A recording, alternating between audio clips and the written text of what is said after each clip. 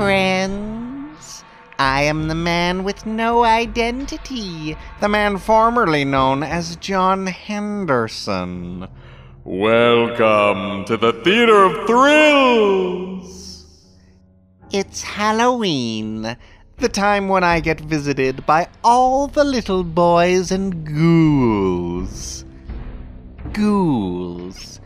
Goo- ghouls. Ghouls. Sorry. Boy, boys and girls. And ghouls. Boys, girls, and ghouls. I have trouble with that word. Tonight's episode is the Inner Sanctum Mysteries. The girl and the gallows. Enjoy.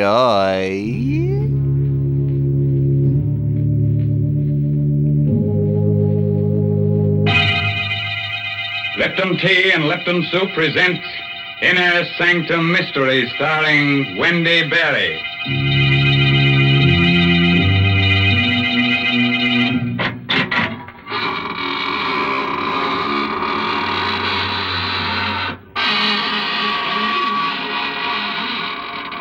Good evening, friends of the Inner Sanctum.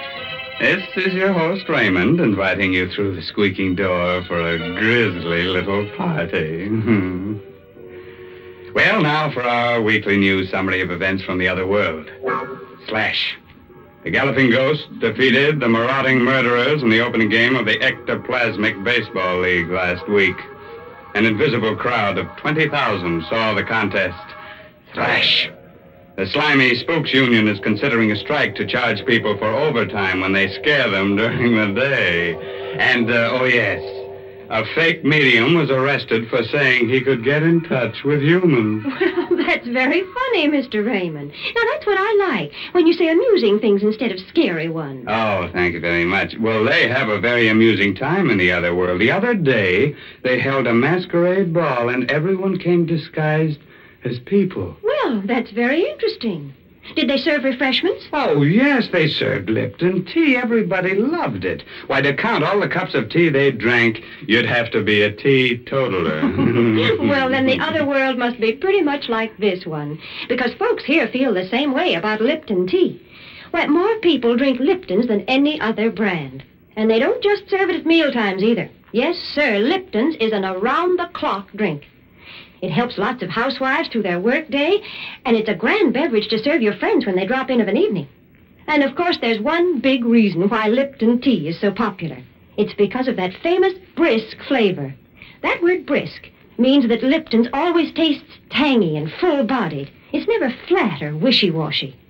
Yes, folks, you just don't know how good tea can be till you've tried Lipton's. Our friends, while you're trying things, try on this rope size. Huh? oh, didn't I tell you we're going to um, hang a very attractive lady tonight? Our story is called The Girl and the Gallows. It all adds up.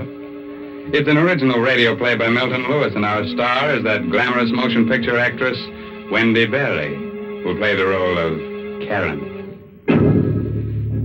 All right, friends. On a nice spring evening like this, a few chills running up and down your spine are just what you need. So get yourself a sweet companion. Turn the lights down low. Put your arm around her. Oh, brother, sit back and get ready to have the wits scared out of you. Let's go. The door was open, and I walked into the strangest apartment I'd ever seen. A sweet, sickening odor overwhelmed me as I looked around. It was a rare incense, burning in a hollow skull that stood on the mantelpiece. I looked closely. The skull was human.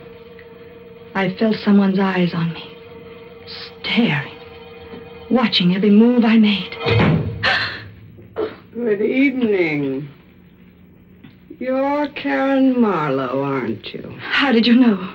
I'm Laura Mason. Oh, oh, Father's told me so much about you. I had to come and see you. May I call you Laura? Of course. I thought it'd be best if we met like this by ourselves. When you marry Father, you're going to be my mother. I I never had a mother. She died when I was born. Yes, Dennis told me. I can see now why Father's so much in love with you. I can grow to love you too. What has your father told you about me? That you were quite an extraordinary woman. Can you can you really foretell the future? Why did you come here? I told you. You're going to be my mother. That's not the reason. I don't understand. Sit down, Karen. Before you leave here, you will understand. And you'll believe everything your father told you about me. She sat next to me, held my hand. Hers felt like ice. Suddenly, her body shook and quivered as though she were being seized by some terrifying unseen demon. Her eyes had little dancing flames. Then they were gone. They became hollow, endless, like two round black holes of infinite space. She was in a trance. Her hand held mine like a vise. There's not going to be any wedding. What are you saying? I see a coffin. A coffin? There's a man in it. Dennis, your father. You don't know what you're saying. On the floor of your home, a dagger in his throat, his head in a pool of blood. Stop it! Murdered! Stop it! You struck me. I had to wake you out of that horrible trance. How can you say such awful things? They're true, They can't be. but they are. I still remember the last vision I saw. It should interest you very much. I don't want to hear about it. You were in it. I? How? There was a figure hanging from a gallows. It was you. You hate me, don't you? You want to see me dead. That's why you're telling me this. No. I'm not afraid of you. You're rotten and evil and loathsome, and I hate you. I hate you. I could kill you.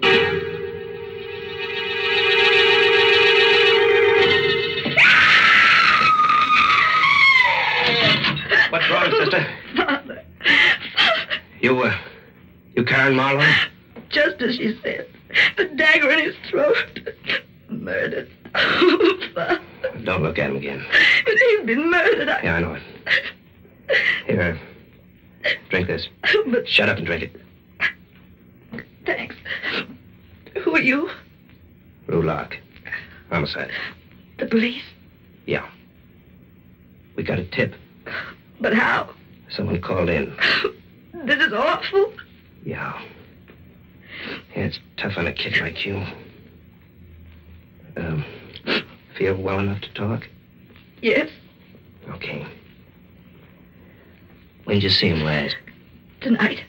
At seven. Here. Then where'd you go? To see a woman named Laura Mason. Laura Mason. Was she home? No. She arrived a minute after I got there. She predicted this. What? She said this would happen when I saw her. Oh, yeah? Uh, did you know what was in your father's will? No. No, he never told me. He left all his dough to you and Laura Mason. If either one of you dies, the other gets it. How'd you find out? We get around. 7.30, a neighbor heard him scream. 7.15, a dark-haired woman in a red coat was brought up here by the elevator boy. She was very attractive. Do you know anyone like that? Yes. Laura Mason. You sure? Yes. Mm-hmm. Uh, who made that uh, head of your father? I was a sculptor in Paris many years ago. Why? Because your father mentioned it in his will. How? Well, he said that under no circumstances must it go to you. It was to go to Laura Mason or be destroyed. Well, what made him do a thing like that? I don't know. Father was a strange and brilliant man. She killed him. I know she did. Who? Laura Mason. You know she did it too. Now, take it easy. Feel well enough to go out? yes. Okay. Take me to Laura Mason.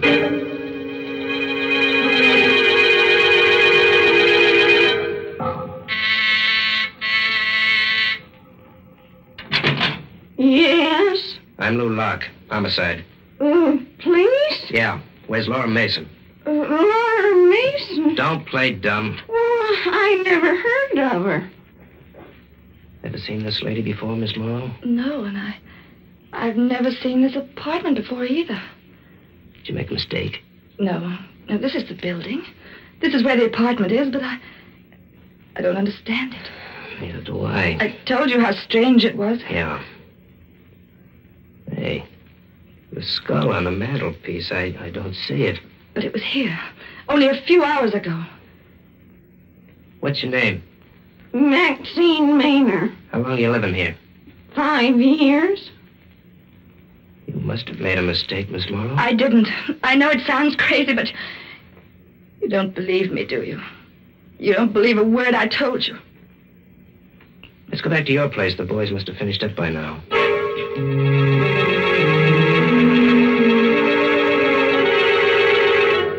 You'll be okay here tonight, Miss Morrow. Are you leaving? Yeah, I uh, gotta get back to headquarters. You still don't believe me. Look, you're a you're a young kid, a nice kid. You never saw a man who was murdered before. It, it can bowl you over. You think I imagined it all. Well, it's happened before. Uh, but you'll be all right now. Good night. Uh, Don't go. Please don't go. Well, I've got to. I'm I'm frightened. I I don't want to be here alone. There's a cop in the corridor. If you want him, call. I, I don't want to be in this apartment by myself. I, I've hardly ever been without my father. I, don't go. Please. Easy, kid. I'll come back if I can.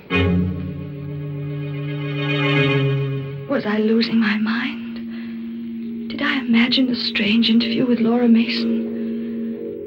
I was alone in the apartment where my father was murdered. I was too frightened to think. Suddenly, the door buzzer sounded. I rushed to open it. No one was there. I sat down. Was this something I imagined too? The phone rang. I picked up the receiver. Hello? Hello? Hello? No one answered. Was it all imagination? Had something happened to me? I went to the window, opened it.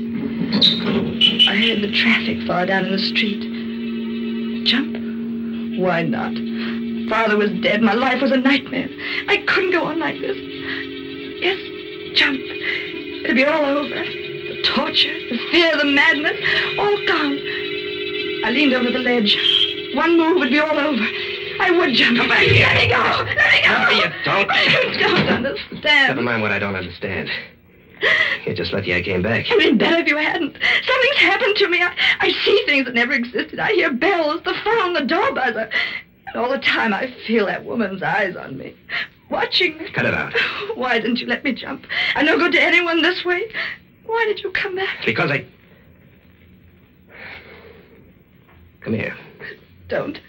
Let go of me. Shut up.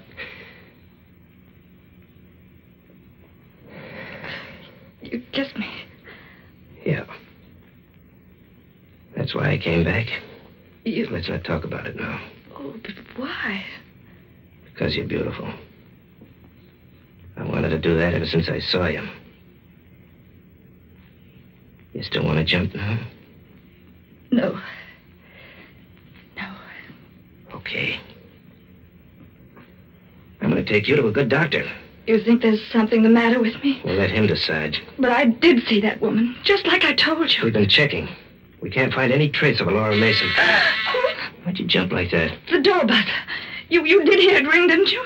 That was the door buzzer. Sure, sure, I heard it. Oh, thank heaven someone else heard it. I'll open the door.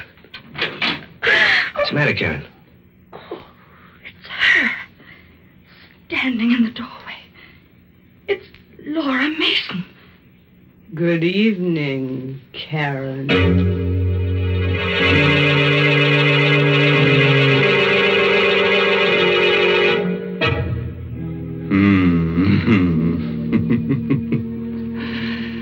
Nice, queer monkey business, huh? Say, I wonder what happened to that apartment with the burning skull on the fireplace. Oh, that'd make a cozy little place for a vampire. She could invite her friends up and uh, have a few drinks. Um. Oh, now, Mr. Raymond, I just can't stand the thought of vampires. Oh, well, tell the truth. I feel the same way, Mary.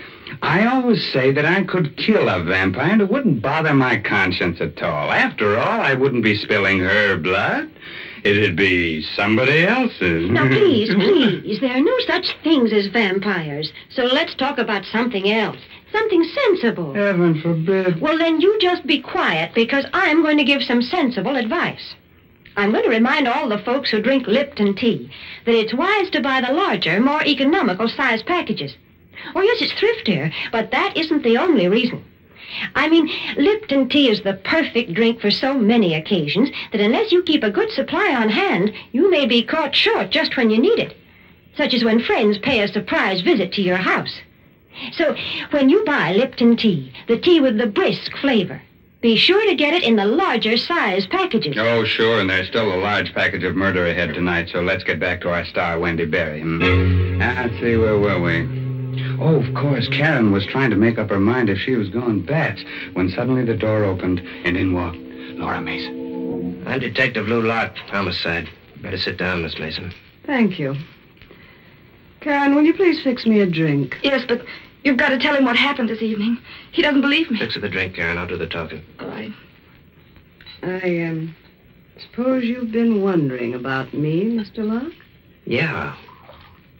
Did, uh, did you know about his will? I did. I, um, suppose you've gathered quite a bit of evidence against me. We've got enough. Did you kill him? Do you have my drink, Karen? Yes, here. Thank you.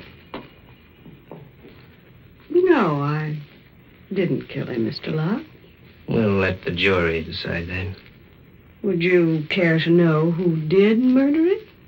I have a certain curiosity. She did. Karen? Yes. You, you don't know what you're saying. Why don't you tell him, Karen? Why don't you confess? But I have nothing to confess. I didn't kill my father. Lou, you don't believe her, do you? You know she's lying. I listen to everybody. That's my business. Are you going to confess, Karen? What are you trying to do to me? You know I didn't kill him. You know because you killed him yourself. Miss Mason, I understand you saw the body of Dennis Marlowe in a vision. Yes. The vision came after the murder. After you were known to come to this apartment earlier this evening. She killed him. That's why she could see these things in her vision. What have you got to say to that, Miss Mason? I see I'll have to convince you too, Mr. Locke. You don't believe in these powers of mine? No. You will. Let me hold your hand. She held his hand, just as she held mine. That same strange shudder went through her body. Her eyes again became the round black wells of infinite space. In a moment, you'll be looking at the body of a woman, Mr. Locke. She's lying on the floor of this apartment. She's dead. Yeah? Who is she? I can't see her face yet. Wait. I'm beginning to see it now. It's. What's the matter? This drink has been poisoned. What are you talking about? Karen poisoned my drink. The body lying on the floor is me. She's murdered. No, it's a lie. It's some trick. You won't win, Karen. My body will disappear. It's not like yours, not like any of you. You won't be able to arrest me. What happened to her? What's the matter? Just a minute. She's dead. Dead. Murdered. She's been poisoned. Poisoned? That's right. Look at her eyes. But I didn't do it. You saw me pour the drink. I wasn't watching you. But you can't I believe didn't that. say you killed her. But that's what you're thinking. What I'm thinking now isn't worth a button. Give me that shawl on the piano. Here. I want to cover her. You don't really believe Listen, that. you stay here. I'm going into the next room to phone headquarters. I'll be back in a minute. I looked at the shawl covering the twisted heap on the floor. What kind of a woman was she? Why had she lied? As though hypnotized, I walked over to her, picked up the shawl. She was beautiful, even more beautiful in death than in life. Then out of space, just as I'd felt it before, I felt her eyes on me. They were closed, yet I knew she was watching me, staring at me, looking at every move I made. Suddenly, I heard myself screaming her, You can't see me! You're dead! You're dead! You can't see me! I couldn't bear it another moment. I ran out of the room, terrified and hysterical. She's watching me, Lou! Lou, I can feel her! Karen. She's watching me! Karen, get a grip on yourself. Oh, I tell you, I feel her. Karen. You must believe me. Please, believe me. Now, look, you'll be okay. I finished my call. I want you to come back inside. with. No, I can't. You've got to. Look, if you'll only realize that there's nothing to be afraid of, you'll be all right. Come on. Oh, I'll go. I'll go if you tell me you don't believe what she said. I don't believe it for a minute. She put that poison in a drink herself. She knew the game was up, but she just wanted to make trouble for you. The whole thing was an act. Here's the. Lou, look. The shawl's on the floor, but Laura Mason. Laura Mason has disappeared.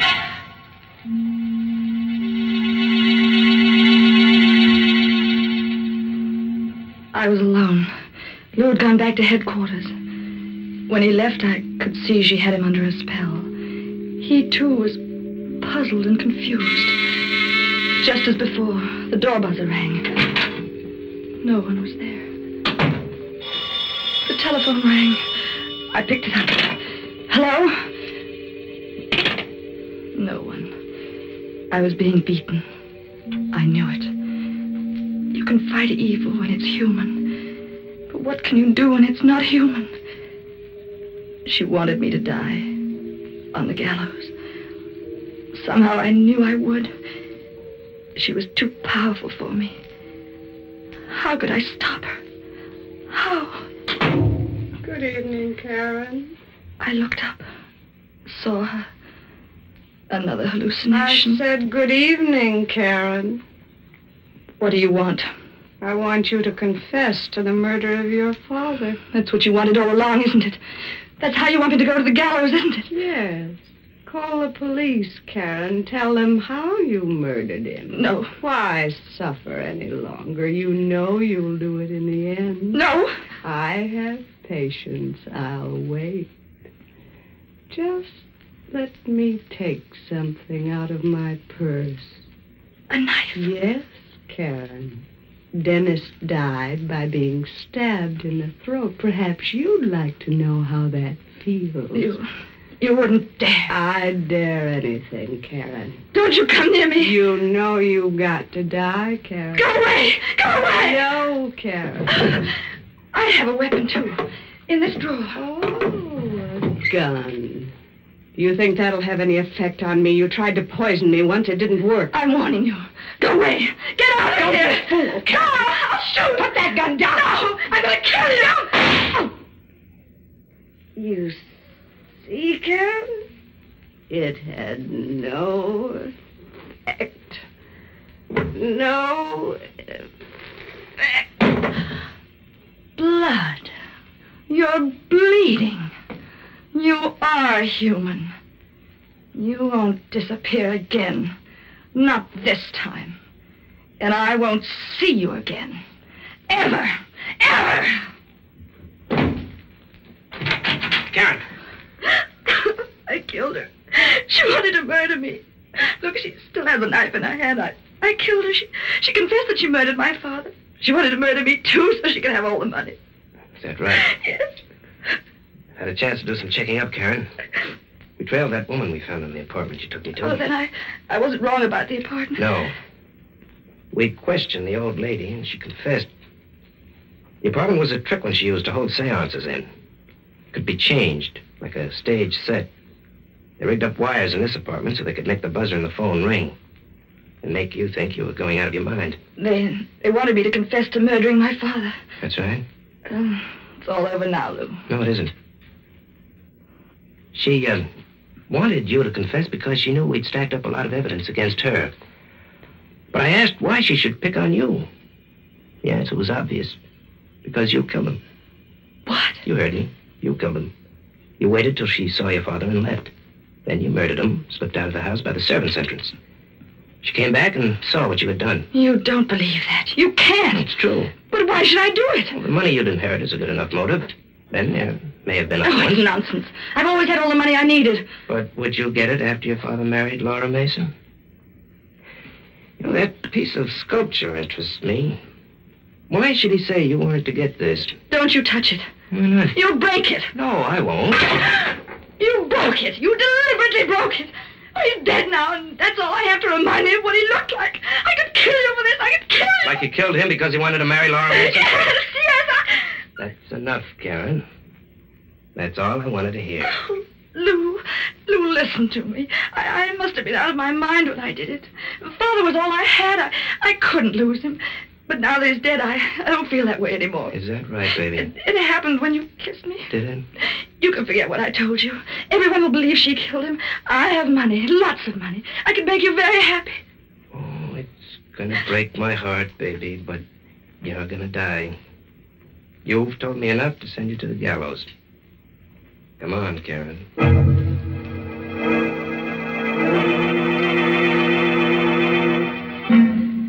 I pleaded temporary insanity. It failed. This is the last night. That noise. The gallows. They're testing it. Laura Mason was a strange woman. All I can think of now is what she told me. It seems so long ago. There was a figure hanging from the gallows. It was you.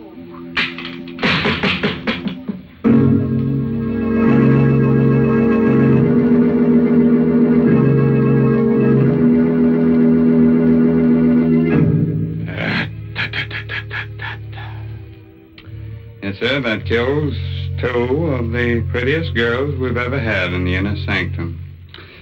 Karen should have pleaded guilty to having killed her father and asked for clemency on the grounds that she was an orphan. What a terrible crime that was. Yes, man. She seemed like such a polite young girl, the kind of girl who goes to finishing school and learns how to pour tea. Now, see here, Mr. Raymond, you don't have to go to school to learn how to pour tea. No? And as far as enjoying tea is concerned, you only have to know one word. Yeah? Lipton. Yes, Lipton tea has a special full-bodied taste. It always tastes fresh and tangy and bracing, never flat or insipid. Tea experts sum it all up by saying that Lipton tea has a brisk flavor. So, folks, try Lipton's and see what a big difference that brisk flavor makes.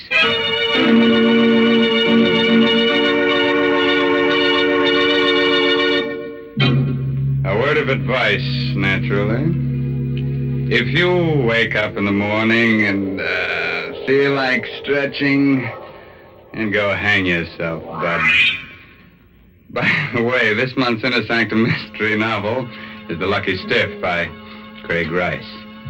Oh, yes, and next week's Inner Sanctum mystery story directed by Himan Brown and brought to you by Lipton Tea and Lipton Soup. Next week's story will be about a pair of young lovers who don't think two can live as cheaply as one. So they murder a rich old man.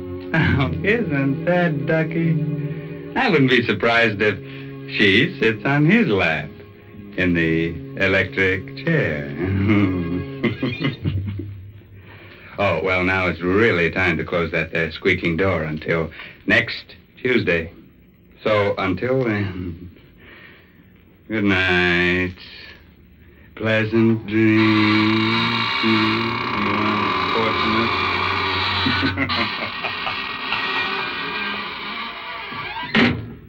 Folks, these busy days, we all want to save time when we prepare meals, and yet we don't want to sacrifice that good homemade taste. Well, that's just the time to serve Lipton's noodle soup. Lipton's is quick and easy to prepare because it comes in an envelope. You just empty the contents into boiling water, and in no time at all, soup's on. And Lipton's has a real homemade chickeny flavor. It tastes just like the chicken noodle soup you'd make right in your own kitchen. It's economical, too. Lipton's costs less and makes more than canned soups. So don't forget Lipton's Noodle Soup. And don't forget to tune in next Tuesday night for another Inner Sanctum Mystery. This is CBS, the Columbia Broadcasting System.